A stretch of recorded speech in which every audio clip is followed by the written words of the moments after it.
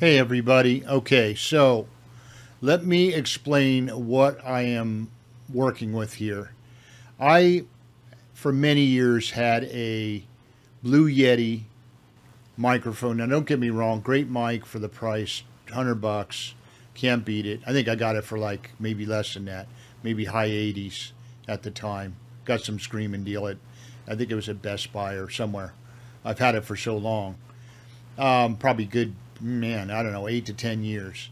But anyway, I um, I wanted to step it up a little bit because one of the things I didn't like about the Blue Yeti was it picks up a lot of surrounding sounds in the room. Uh, it could be even outside of the room. I've got a window to my right that you know leaf blowers in, in the morning.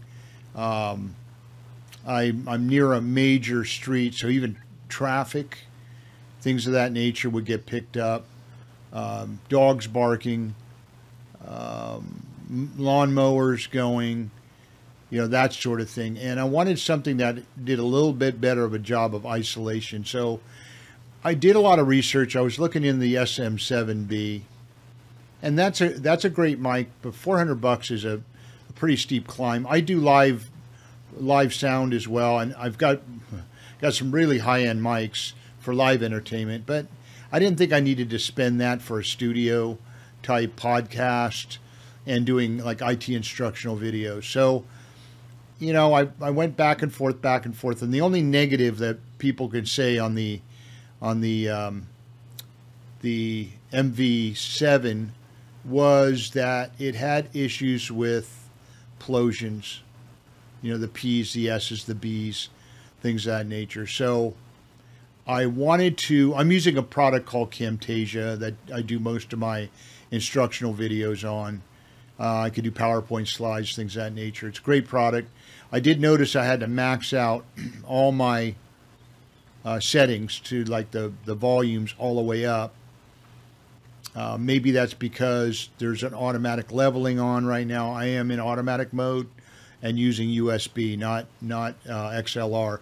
The other reason I bought the uh, MV7 was that it has the ability to use USB if I'm traveling and in a hotel room, and I don't want to carry all this equipment. I don't want to carry my my Focusrite 2i2 audio interface with me, although I have small cases for it and stuff. It's just convenience more than anything else. So anyway, I'm doing a test on this video. We'll see how it comes out.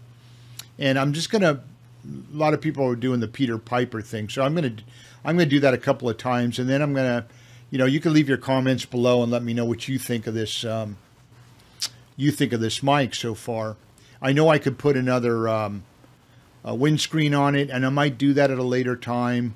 Uh, one of my friends recommended maybe even putting a cloth towards the top of the foam or putting a small layer of foam because the area right at the top of the mic is where it's thinnest. So here we go. Peter Piper picked a peck of pickled peppers. A peck of pickled peppers Peter Piper picked. If Peter Piper picked a peck of pickled peppers, where's the peck of pickled peppers Peter Piper picked? Man, I haven't done that since I was in grade school. Um, anyway, so there's that. You leave your comments if you think it's, you know, I have a I have a windscreen on my Blue Yeti too, but once again, like I said, the the room noise is my biggest reason for going with the Shure. It's 249, 250, and um, running a basically a kick kick mic uh, stand, which I may look into a an arm boom, a desk mounted arm boom at a later time. But that doesn't, this one doesn't seem to interfere with my um, movement on my keyboard, things of that nature. And when I'm going to be doing IT instructional videos, a lot of that's going to be using a, um, a Logitech automated slide advancer, that sort of thing. So anyway, let me know your thoughts. Thanks for watching.